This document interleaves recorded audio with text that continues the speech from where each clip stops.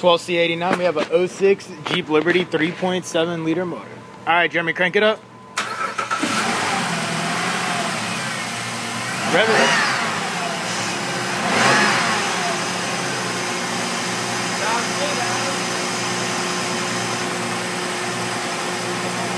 Rev it again.